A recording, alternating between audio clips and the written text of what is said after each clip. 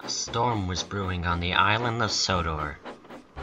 All the engines were rushing to make sure that everyone got home in time. Guaranteed connections, such as Thomas and Edward, were often delayed because of the storm, and so they had to hurry to make up for lost time. Oh my, I've seen many storms in my day, but not one like this. Don't worry, it takes a lot of wind to push down a steam locomotive, Edward.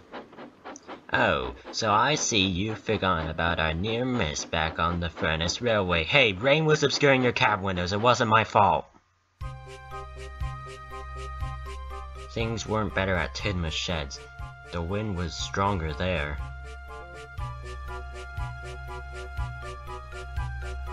You know, guys, um, I've been thinking about the, uh, Flying Scotsman. Huh? What do you mean? Don't mainland engines usually stay over on Sodor? Oh no. He'll be blown down by the storm. But what do you care, Gordon? Think you'll, like, get rid of him or something? Thomas, you are far too young to understand. Gordon, listen here, I was built in 1915, like five years before they even started on you. Calm down, you two. Once the storm passes, we can go look for him. There's no time. I'll just have to look for him myself. What, Gordon? Surely you're not. I am.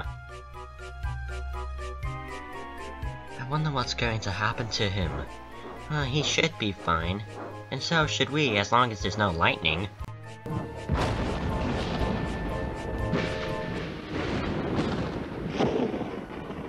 Thanks for jinxing us, Henry. Oh, you're welcome, James. Thomas said that, not me.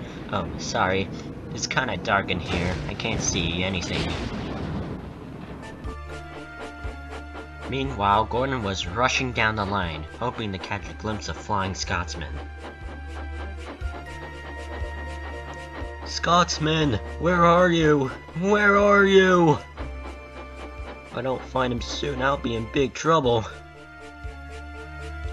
Gordon was too busy looking for the Flying Scotsman that he didn't see that a tree had crashed onto his line.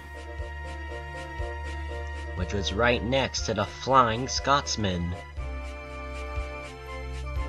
Hello, Scotsman! Gordon? Oh, thank goodness I found you! Oh! Oh.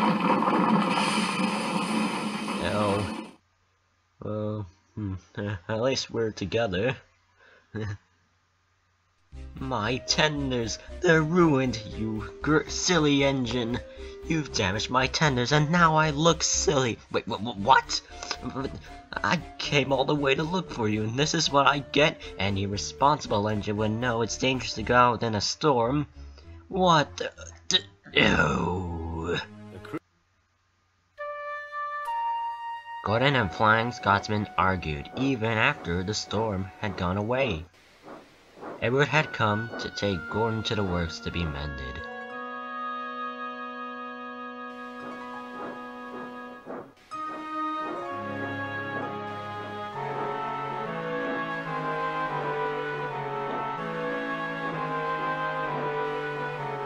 Because of the lightning strike, the lights on the works were very dim.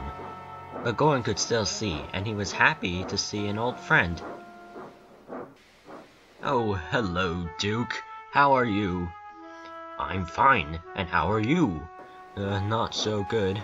That brother of mine's a real pain in the tender. Flying Scotsman? Oh, I've heard about him. He's the one who's boasting about his so-called speed record, isn't it? Yes.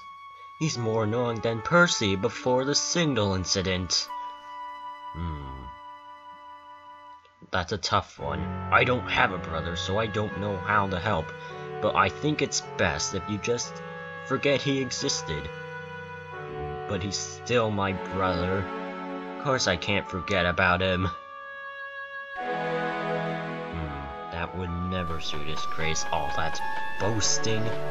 But I'm sure things are going to brighten up soon. You just wait and see. I hope you're right. Because I think I saw him with a sly look on his face when Edward took me here. Oh, I'm sure it was nothing. But Gordon knew that Duke was wrong. Flying Scotsman was up to something, and he knew that it wasn't going to be pretty.